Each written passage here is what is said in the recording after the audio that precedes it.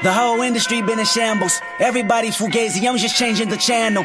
Kendrick Lamar, the people's champion, I'm animal for analysts. Career damaging verses, meditating when candles lit.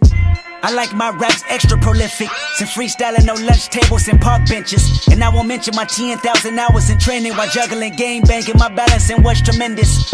And now we look at the competition as quick submissions. They tapping out before we even get a chance to miss them. What this about? Is it money or skill? Maybe it's both, and I got large amounts of it. It's real. You see, my oath is very unbreakable. My style is never mistakeable.